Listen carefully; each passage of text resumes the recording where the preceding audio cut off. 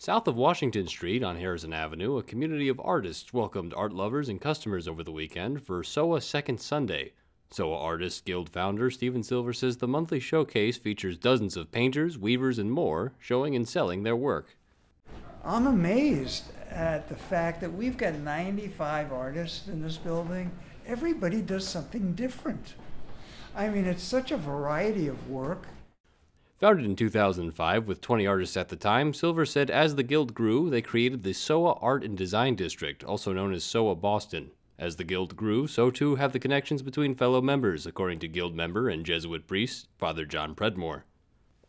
Uh, each of the artists, we get together and we support one another, not just in uh, artistic ways, but also personal ways. What's happening in your life, uh, because everything that happens in your life comes out on the screen.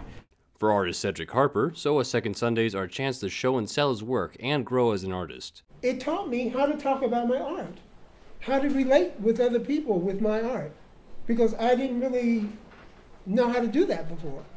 So, you know, these interactions make me stronger. In addition to hosting dozens of artist studios and galleries, SoWa Boston also hosts art exhibits, including the virtual reality Imagine Van Gogh exhibition coming later this December.